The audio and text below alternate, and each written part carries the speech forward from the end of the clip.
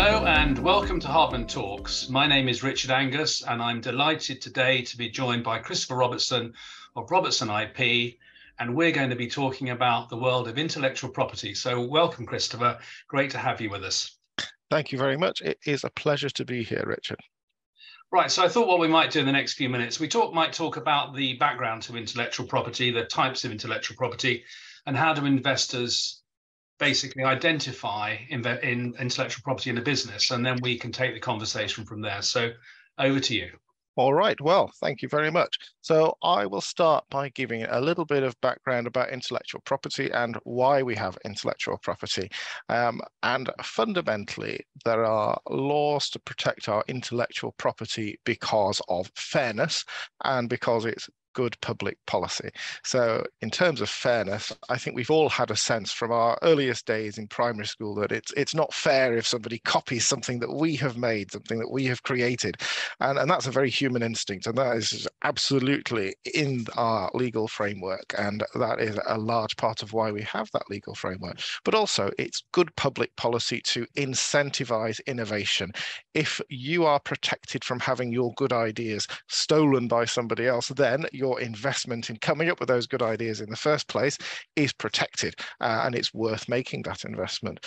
And in terms of consumer confidence, of course, because a lot of intellectual property is about protecting reputation as much as creativity. And it's good if a consumer knows they're buying from the person they think they're buying from. So the trademarks are protected uh, and all of that reputation that is contained within that. So that's why we have an intellectual property framework in its most basic sense. Um, there are all sorts of different intellectual property rights that are protected by law. The most common of them are patents, of course, which, which many people are familiar with, trademarks, both registered and unregistered, design rights, also registered and unregistered, and copyrights, which in the UK is always unregistered and automatic. So if I take them one at a time and just give a very brief explanation of what they are. A patent, as probably most people know, is an intellectual property right that grants you the monopoly for up to 20 years on the use of an invention, a technical invention, a contribution to technology. Um, uh, they are the most complicated uh, form of intellectual property in many ways, although not necessarily always the most valuable. Um, trademarks. So we start with registered trademarks, which often can be among the most valuable intellectual property assets, particularly for the enormous global brands like Coca-Cola and McDonald's and so on. Um, these are the this is the legal protection of the get up of your marketing, of your trademarks, your logos, your business names, your taglines, and that sort of thing, and and they can last forever there is an unregistered option for trademark protection, which is not quite as powerful. And that's all about the goodwill and reputation that you have in those marks as well. Um, moving on to design rights, we have registered and unregistered design rights. They are about the look of your aesthetic product, both in terms of their appearance, uh, uh, in terms of their configuration, their shape, the way they're put together. It's a, a, a narrower right than a patent, and it's not necessarily about a technical product. It's more about an aesthetic product, uh, and they can last up to 25 years for a registered design right and up to 15 years for an unregistered design right. And then copyright protects any literary, dramatic, artistic work, your novels, your films, your pieces of music, your plays, all of that sort of thing. Uh, that automatic, it doesn't need to be registered, and it can last up to 70 years after the death of the creator. Okay, so um, I think investors are very good at looking at things like earnings and hard assets, etc. But how does an investor identify intellectual property held by a business? Well, it's not always immediately straightforward. So obviously the registered rights, they are on searchable databases. And so if an investor knows how to use those searchable databases, then they might be able to identify those rights for themselves at least. But I would really recommend, in fact, hiring a professional to conduct an intellectual property audit of a business if you're interested in learning about the intellectual property of the business.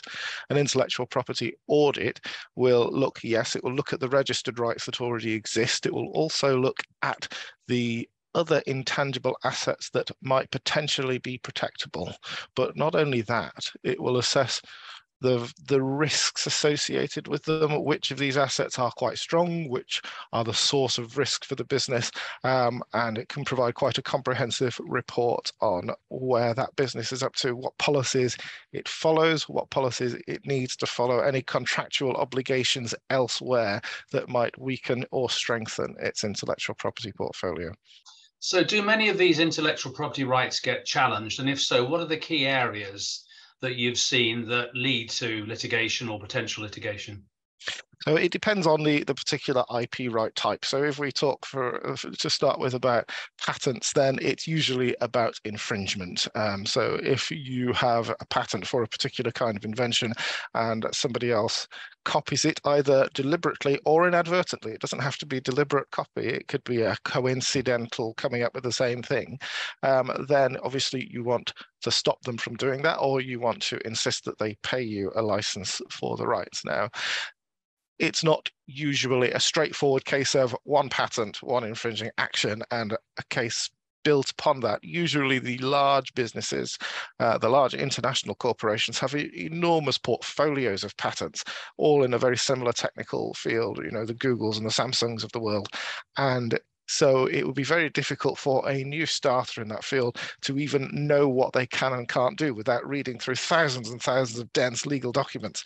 Um, and so a lot of infringement comes from that and almost the impossibility of avoiding infringement, um, which is why it's so difficult sometimes to get started in some of these very technological fields. Um, trademark infringement is is another thing altogether. It's not just about the, the Colin the Caterpillar and all that sort of thing, which is one of the more famous cases that's been in the media at the moment, but it's it's about the protection of reputation. And if the if, if a big company has invested a lot of money into their reputation, their trademarks, um, they they don't want anybody else selling similar goods and services to potentially confuse the customer into thinking either this product or service is coming from the big company or the big company is in some way endorsing the products of this company because there's potential reputational damage and potential freeloading from the marketing expenditure of the larger company.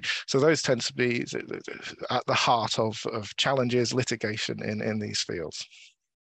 Well, thank you very much. I mean, this is obviously a very big topic. What we'd like to do is stop at the moment and maybe talk again in the future about intellectual property value and how investors can basically analyze a company from a slightly different angle than they have traditionally done so. So, Christopher, it's been great to talk to you today. Um, for all our viewers, thank you very much um, for viewing. Please uh, don't forget to subscribe and like and um, hopefully we'll see you soon. Thank you very much. Thanks very much, Richard.